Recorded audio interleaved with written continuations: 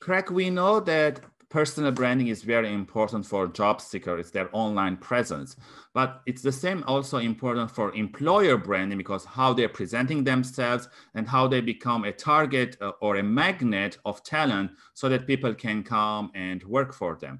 And in your experience as an author and speaker, what are some of the trends or tips that you can give to uh, companies in terms of employer branding and how can they tell their stories?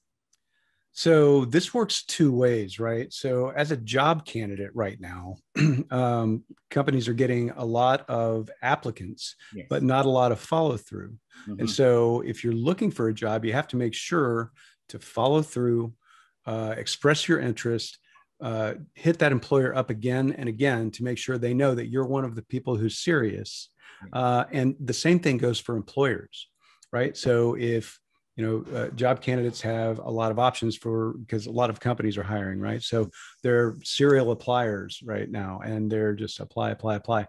So if you're a company that is really serious about a candidate um, get on them fast uh, make sure they know you're very very interested and make sure that what you're putting out in the world uh, on you know social places on your career site um, on your facebook careers tab uh, in your job descriptions matches uh, how you're following up in this process. The candidate experience is intimately tied to your employer brand.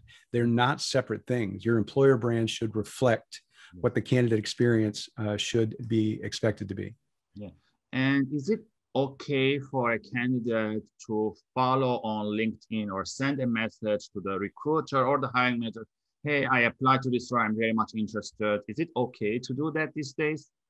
Yeah, absolutely. So, um, I, so I, I have always connected to everyone on LinkedIn immediately. Mm-hmm. And if it's in the recruiting community, I'll even connect with them on Facebook, right? Because we all participate in these groups on Facebook. Yeah. Um, and so if it's within your industry and you know your industry is active in places like that, absolutely connect because you're colleagues at the end of the day. And that's really how you want to approach the relationship in the first place.